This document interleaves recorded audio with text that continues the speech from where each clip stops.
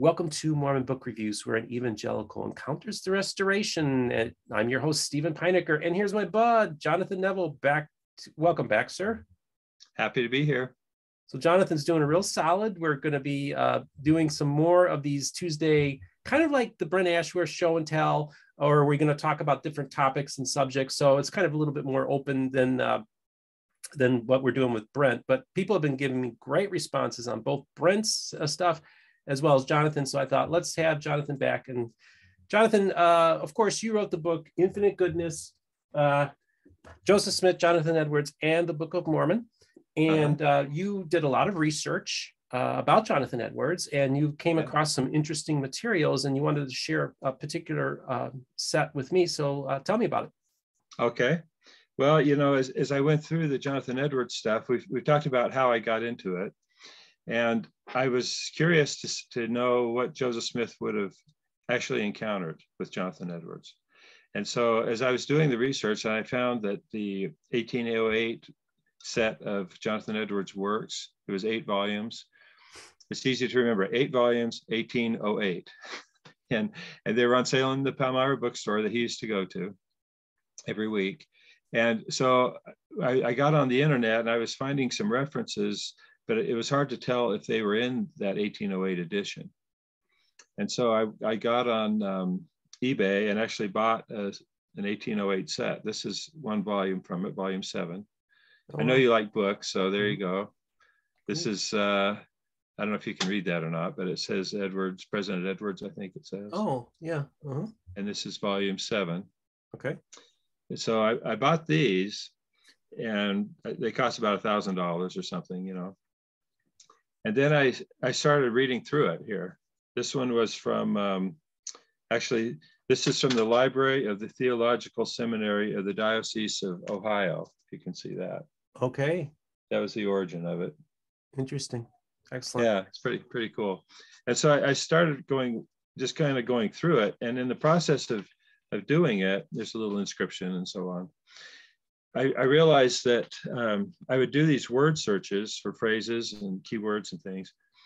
And I, I also found this on Kindle, by the way, the 1808 edition on Kindle. But sometimes I would notice there was a problem with the Kindle digitization where a word didn't make sense. And so some of the, the letters weren't transcribed correctly in the Kindle. But I also was introduced to the um, Jonathan Edwards Center at Yale, which has an extensive database of Jonathan Edwards. And I would do word searches that I found in here, but not in the Yale database. And I, I uh, Richard Bushman introduced me to the people at Yale. And so I contacted them and I told them they have a, a major defect in their database because much of this 1808 edition was not digitized. And they hadn't realized that. And so the, in the process, he said, they, he told me that they're uh, reworking their whole database of Jonathan Edwards. And so they're going to make sure they include this whole 1808 edition in there because it's partly some of the sermons in here were not in the Yale database, but also some of the editorial content. So I'm just going to give you a quick example of why this is kind of cool because the, the famous sermon that um, I talk about in King Benjamin's address, Natural Man is an Enemy to God. So this was the sermon that says, I don't know if you can read this. It says, men naturally God's enemies, right? Uh-huh. And much of this uh, sermon goes on and on and explains how the natural man is an enemy to God, which King Benjamin never really explains. He just uses the phrase and then explains how to overcome the natural man. And so, if a reader of the Book of Mormon has to kind of create their own idea of what he meant by natural man as an enemy to God. But it was an allusion to the Jonathan Edwards sermon. So when you take the Jonathan Edwards sermon as an expansion of what uh, King Benjamin taught, then you really have a deeper understanding of the whole concept and why King Benjamin said what he said. Now, in my view, of course, uh, Joseph Smith translated what King Benjamin actually said. And put it in the language he was familiar with, which was from Jonathan Edwards. So I've given the analogy before that the Book of Mormon refers to the law of Moses, but doesn't ever explain it. And it's the same way. The, the Book of Mormon alludes to Jonathan Edwards, but doesn't elaborate on it. And, and that's why, for me, understanding Jonathan Edwards here has just opened up the Book of Mormon tremendously, just like reading the Old Testament and understand or expand your understanding of the law of Moses. Well, one of the fascinating things about this particular thing that you would not get if you were looking at a database is the opposite page. See what that says there? Joseph's temptations. Uh-huh. Okay. Can you read that at the top? Yeah, Joseph temptate Joseph's temptations. Yeah. Okay. This is really interesting. And because the sermon that precedes it in this book is all about Joseph in Egypt. I'm just flipping through the pages here mm-hmm. to get to the beginning of it. But so here it says, um, I'll show you this in a sec, but it's Sermon 11, Joseph's Great Temptation. Um, you, you, can see where that's the name of the sermon. Uh huh. Joseph's Great Temptation. Well, I started annotating this with the Book of Mormon.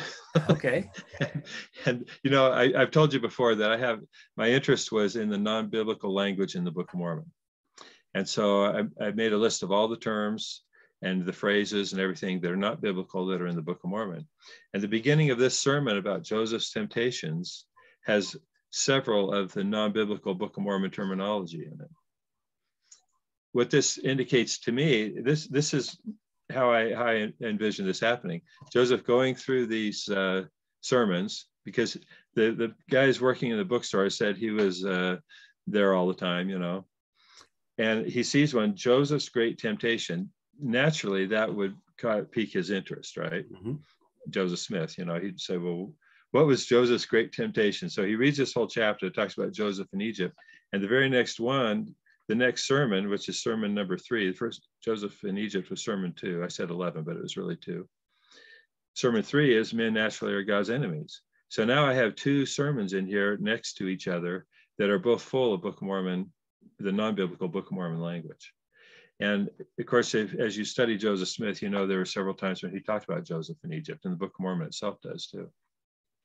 So I just found that as a, this is just real preliminary research. I haven't written about this or published about this yet, but I wanted to show you the, the advantage of actually going to the original book and putting yourself in Joseph Smith's place as a young seeker and reading through these things and seeing why these some particular sermons would have a special appeal to them. Mm. So anyway, that's the advantage of keeping old books. Yep. and right. and doing a little forensics, you know. You put yourself in Joseph Smith's place. What in these sermons of Jonathan Edwards would particularly appeal to him? And I think the one with Joseph's Temptations would stand out. Yeah. Yeah. I, I, I wanted to mention, I don't know if you have any other questions about this, but it's a, it's a really interesting new approach to doing the research. Yeah. I, I personally think that when I, when I, when you, when we first started talking, and you mm-hmm. told me about the book that you were about ready to publish and i was just thinking this is truly fascinating to me. And and the reason why is like i tell people said you know it doesn't really matter if it's a 19th century production or if it's an ancient production. The key thing is is that the book of mormon is a place where both evangelicals and members of the restoration can have common ground and conversation. Absolutely. yep. And i had casey kern okay, was one of my mm-hmm. previous guests, gave a great presentation on the atonement in the Book of Mormon. And he he went and started delving and researching Jonathan Edwards. Mm-hmm. Uh, I know of other people that have contacted me. And so, and, and this is the yeah. this is the thing that I find so interesting is that often Jonathan Edwards was used as the boogeyman, as an example of what we yeah. aren't. And you're right. saying that no, Jonathan Edwards has been with us from the start. Yeah. And, and let me show you something else that's really interesting. I'm sure you're familiar with this book, right? B.H. Roberts, The Book of Mormon. Oh, yeah, I got my own copy. Okay, you got your copy there. Well, you can go to, I think it's page two, let's see, what is it? 298. He has a long discussion about Jonathan Edwards in here. Oh. It's about 10 pages of quoting Jonathan Edwards. yeah. and his his point is that the, the Book of Mormon talks about uh, spiritual manifestations where people are overcome and so on physically overcome. And he points out, he, he goes at length reciting the account of Sarah Edwards, who famously had an evangelical experience. And when Jonathan Edwards returned home and found out that she had had this experience, he was overjoyed and so on because he had felt she hadn't been very religious, you know.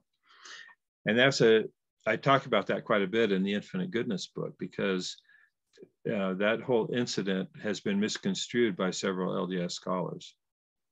And so I explained how why they took it out of context and how it fit their narrative, but it was inaccurate the way they portrayed it. Hmm. But B.H. Roberts used it as to show the context that Joseph Smith was would have been exposed to. And he implies that Joseph was familiar with Edwards' writings, whether directly or through sermons and other ministers. But I, I was it's just very striking to read through this and see how extensively B.H. Roberts talked about Jonathan Edwards. Mm. And I, I, you know, that's just another thing. And I, I, know, you know, many people have noticed a similarity between the Book of Mormon and Edwards and other evangelical uh, sermons. But no one, as, as far as I know, has gone through the detail and really isolated Edwards as the primary influence next to the Bible. Obviously, the Bible's the biggest influence, but Edwards was number two. And number three was probably James Hervey, which I haven't really published much about yet. But um, yeah, you're right. It's a it's an opportunity for evangelicals and other restorationists, including Latter Day Saints, to find unity of of interest and purpose. Even yeah, absolutely. And, and I think I think it's awesome. I mean, I just love it. So, I tell me what you thought of Jonathan Edwards. What, what were your thought? What, who, who did you think Jonathan Edwards was and what he represented before you started researching him? Well, Sinners in the Hands of an Angry God was the mm-hmm. sermon that I knew about, right? Mm-hmm. I thought he was fire and brimstone, you know, all this kind of stuff. And then when I started reading what he actually wrote instead of what people said he wrote, he's always been taken out of context, really. Even that sermon, for example. That sermon is so has such vivid imagery that people latched onto that as emblematic of everything Edwards wrote. But it isn't, you know, it's not really even representative in fact, he he made the statement that I don't even want to be framed as a Calvinist because he said I I read what Calvin said and I consider it, but I have my own ideas, you know. And so he's been pigeonholed as a strict Calvinist, you know, and all that. But when you read what he actually said, he's not. He even talked about eternal marriage with his wife and things, you know. So, um, well, as you know from reading the book, I think he was like the Elias for the the restoration through Joseph Smith and lots of people were talking about a restoration and restoration of all things and so on but the, the book of mormon really did fulfill i guess the aspirations that edwards had for the church so that's why i love it and and i you know i've, I've been trying to introduce edwards to the lds community that's why i had some passages or some of his sermons in my book so people could read it for themselves I even have a blog. It's it's called Your Daily Jonathan Edwards, and I, I, I put excerpts from him that relate to LDS topics. And I, I, I started doing it daily, and now then it was monthly, and now it's haphazard. You know, mm-hmm. I have a lot of people that read that just because they've never heard about Jonathan Edwards. And you know, on my on the uh, Museum of the Book of Mormon webpage, mobom.org, we have a section on Jonathan Edwards as a way to introduce him to the LDS community that's just fantastic. Now, tell me about this uh, Jonathan Edwards Center at Yale University. Yeah, okay. That it's uh, of course he was a graduate of Yale, right? He married the daughter of the founder of Yale, so he was very closely connected to Yale. So I think it was I can't remember the day, you know, 20, 30 years ago, they decided to do a digitized kind of compilation of all Edwards works, and it's just called um, edwards uh, I, don't, I think it's edwards.yale.edu is their site, but you can just Google Jonathan Edwards Center.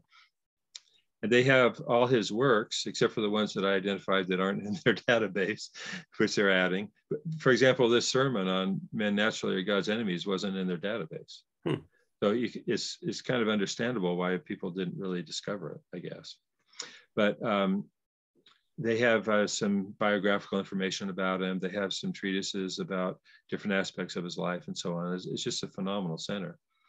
But you might be interested in this. When I when I first was talking with Richard Bushman about all this, he said that I came 15 years too late. And I said, "What do you mean?" He said, "When they started the Joseph Smith papers, they had uh, collaborated with the Jonathan Edwards Center because they, that was kind of like the epitome of uh, scholarly internet integration.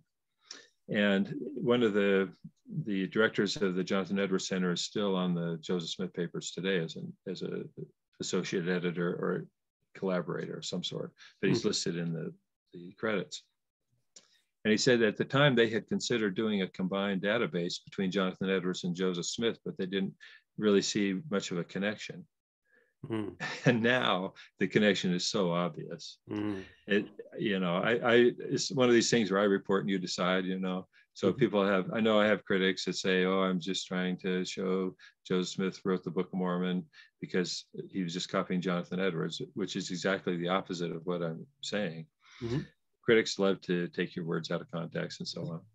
But it's exciting now because the Edwards um, Center is already involved with the Joseph Smith papers. And so there is a potential now to have a more, uh, should I say, more academic or more qualified or more reputable integration of Jonathan Edwards and Joseph Smith than just my little proposal. Now, you know, I you, you mentioned the book. I have an extensive database that I couldn't even touch in the book. And I have a lot more material. I could, I could publish probably two or three more volumes on it. But eventually we're going to put that in a format where I can put that on the internet so that any reader of the Book of Mormon, if they have a, a question about a particular phrase, they can go to the database and see how Jonathan Edwards used that term or that phrase. Mm. For example, the continual scene of wickedness, you know, there, there's phrases like that that Joseph used when he was translating the Nephite record and so it, it makes sense when you just read it but when like the one with the natural man as an enemy to god there's many phrases like that that have much more expansive meaning when you understand how joseph smith learned those phrases and the context hmm. so it's an it's an exciting time i mean you yeah. know there's there's just only so much time to do things but um, almost daily i add to that database too it's incredible yeah it's, it's really fun it's so amazing how you know you know people ask me, how is it that you, you know, you're just focusing on Mormonism? And I said, and, uh, are you going to run out of things? I said, no, every day there's something new. There's new yeah. research, new ideas, new ways of looking yeah. at things. What I love about it is that here you are, kind of like me, this outsider. Nobody, yeah. nobody's ever heard of, just kind of fall into this world and cause ripples and cause yeah. people to take attention uh, to, you know like hey I, I think jonathan's onto something and there's been you mm-hmm. know i've had conversations with people about your work and I just think how when I was at the Mormon History Association last June, and I had mentioned how I'm engaging, you know, uh, no, nobody like I, I mentioned your name, and most people hadn't heard of you. But right. I said, well, he's a Heartlander, but he's got this really oh Heartlanders, ah blah blah, you know. and, know. and, yeah. and I was like, yeah, that's awesome. But I thought this guy's onto something. And I think what it was, it's this was this kind of special convergence. Is here I am starting this little channel, yeah. an evangelical encounters the restoration and here you are, you're doing research where Joseph Smith encounters Jonathan Edwards. Yeah. And I think that it was yeah. the perfect storm for us to come together. You're right. And perhaps because I'm an outsider, I'm an evangelical, I'm like, wait a second here. This mm-hmm. is interesting to me. So I, I just yeah. think that this journey that you and I have been on for about a year now has been absolutely fantastic. Yeah. And I think that when you, it was just very exciting to me to think of these thinking outside the box, hearing different voices, different opinions, and looking at the text in a different way. I think that if people, because this is the idea, if if if, if the natural man is an enemy to God, actually has an idea a con- is is based on something. So if Joseph is encountering the text and he's he's translating, who knows what the phraseology is except oh yes, natural man's enemy God. I know this. Yeah. This is exactly what this is. So then we got to just hit not just the phrase, but everything that's in that in the sermon, in the yeah. ideas of Jonathan Edwards, you got to also look at and investigate as well. Yeah, so I, I, look at it as the Book of Mormon is a condensed version of the gospel. And a simple phrase like natural man is an enemy to God has an expansive meaning. And, and people who are familiar with Edwards knows what that is. But if you don't, it's just like I, I give the analogy of, of someone in China reading the Book of Mormon. It says the law of Moses is that traffic law, you know? Is it, is it a law about how to deal with your pets? No one has any idea what the law of Moses is. And so you have to teach them about the background of the Old Testament, who was Moses, and so on. And it's the same now with the Book of Mormon. We can look at that, and it's we can unpack that that condensed little suitcase of natural man as an enemy to God. And just reading Edward's sermon, you can see exactly why Joseph chose that phrase to translate what King Benjamin was saying. and then it means so much more. It's, it's just amazing. Yeah, yeah. So people should read King Benjamin, and also read Jonathan Edwards. Yeah. And then I think that gives you a fuller picture. Well, that's that's only one example. The entire book of Mormon is this way. Yeah. There's so many phrases and concepts that when you when you read it in, through the eyes of Joseph Smith, reading this 1808 book, you know, how why did he choose those phrases? And when you read the original source of those phrases and, and terminology, then you get a much uh, more expansive meaning of it.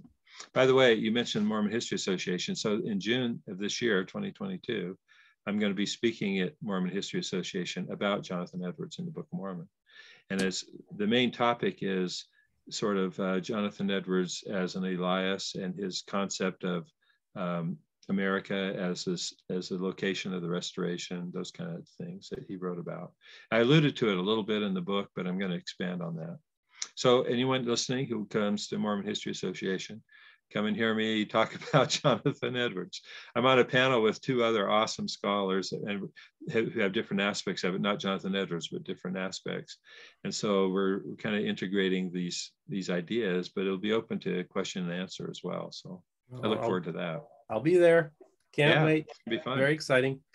Um, this this will be my second appearance at Mormon History Association. So that's great. Usually I'm out of town. There's no way I can attend, you know, but this year we are going to be here. So that's great. Well, I'm so happy that you're doing that. Uh, Jonathan, I want to thank you so much for coming onto the program today. Mm-hmm. Happy to be here. I appreciate it every time. Yep. Love so, your channel. Thank you. Well, folks, I just want to stay tuned. Jonathan, this will be a, an irregular series where Jonathan will pop in now and then. Not, not only will we do long form interviews, but we're also going to be doing these Tuesday segments that like 20, 30 minutes where we talk about topics and stuff.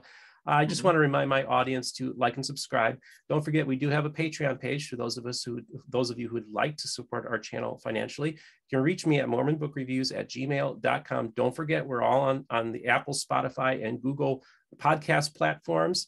And uh, just be well, everybody, and have yourself a wonderful day.